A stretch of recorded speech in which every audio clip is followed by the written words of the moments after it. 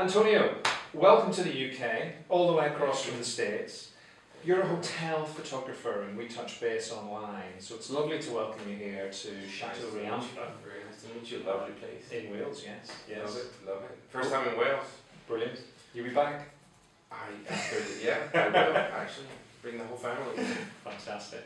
Yeah. Well, I, I just wanted to touch base because a lot of people will see photographs on our website uh, and they'll, they'll often wonder where do these images come from. Now you're at the other end of the scale. You're taking photographs of luxury, you know, places to stay Right. all over the world, and, and you're with us here um, doing castles. What's the excitement of creating an image that, that then is seen by people um, that attracts them to a property?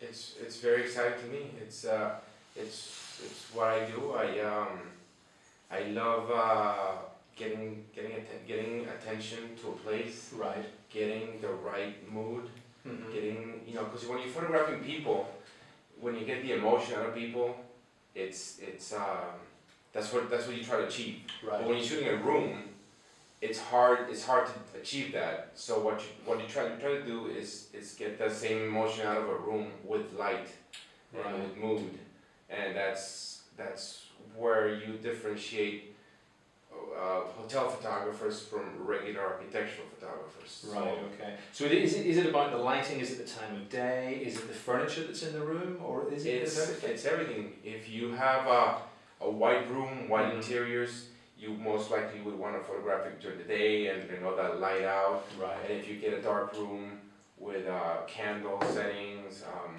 sort of like the piano room that we have at the, at the chateau, Yes. uh, you maybe want to photograph it uh, at, at night or or when it's a little darker, create a different type of mood. Right. You know, sort yes. of a cozy move.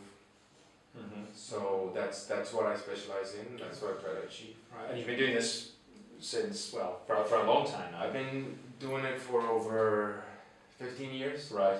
So, and just now I'm beginning to get it. well, from the pictures I've seen on studio, they look fantastic. Those are new. Those are the new ones. but but what it does, it, it does draw me in, and I think it's quite interesting because uh, people who own castles and whatnot probably don't appreciate the difference of a good photograph versus Yes. something that, that somebody's seen. Because the classic is that you've got a wedding photographer in place, can you take a few pictures of some of the rooms, etc. But what you do, just well, it, it, as I said, it just creates that sort of magnet to draw people in. They That's, want, want to that's visit. my struggle. That's Yeah. my struggle. Because people, uh, when they hire a photographer, they they they they all know the wedding photographers. Right. from that you know they're familiar with. They all know the portrait photographers. Mhm. So the outdoor thing. And when you hire a hotel photographer, you you sort of get that feeling that he's just gonna come in and photograph. You know, standing with little cameras. It, it, Yes. it, it, it's a lot of work. You have to hire assistants. You have to, uh, you know, put. It, it, it takes a lot of post production, Right. production, um, to get the right. It's not just the picture that you take on that day. Then. it's not. It's not just the picture. One of the other things that you, you do is obviously not just for properties themselves, but you do uh, a lot of travel writing and provide photographs for, for glossy magazines and high-end magazines. Um, what's the aspect there? What's the difference between taking something for a property and then for a magazine? Are you looking to bring people into it, or again, is it just the room shot?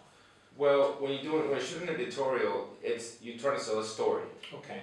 So you have to find out from the manager of the hotel what's the story behind the castle. Mhm. You know, what's uh, the property has been renovated. You know, the property has uh, this wine cellar that's pretty important. They grow like um, what's the name of it? The Uh, Thornbury, where they actually grow the, Thornbury. the, the vineyard Right, in, we- in the ha- yeah. yeah. halfway through that photograph, we discovered that they have a wine, uh, you know, Right. their own vineyard. Yeah. And so, okay, well, we need to tell that. So we need to uh, go and photograph people, you know, working on the uh, on the wine, Right. that, that that sort of thing. As opposed to you photographing the um, just the hotel, so you just Right. photograph the interiors based So, on some so, guidelines. so it's a story that goes with that, and you exactly- can tell that story. exactly, So it's taken through a number of shots as opposed to one So you do a little bit of both. You Yeah. do, you do a little bit. Of, you get the rooms, you capture the mood of the rooms, and then you also tell a story. Yes. People working, you know, in the gardens. Mhm. It takes a lot of work. To, those gardens are absolutely gorgeous, Yes. and they take a lot of work. So you maybe get a shot or two of um, you know uh, the gardener, Mhm. you know that type of thing. That's lovely. And Yeah. coming, coming from the States, you don't have this historical No, uh, no. backdrop in, in effect. No. So it must be quite uh, quite an interesting area to work in. yes, yes, and it's very interesting uh, for the American market Mm-hmm. because um, you don't see castles in, in America like, Mhm. like you do here. I'm assuming that if you're from, from England, you see a castle, it's like you see, you drive by them every day and, and, and you're not as excited as you are. Well, actually, actually, I think Anthony it's quite interesting because in the UK, yes, we've got castles abound, but most people think they're visitor attractions. So you go and you spend a day there, enjoy some activities. A lot of people don't realise you can actually sleep in the castles and have them for events, etc. So you know, there's a lot of people in the UK will will see them and not visit or, or, or just pop in, but not realise you could sleep there. So that's that's still a challenge that we have as a business. So Antonio, thanks very much for uh, sharing those those those uh, thoughts with us. And um, we look forward to seeing more of your images as time goes on. Thank you, thank you very much.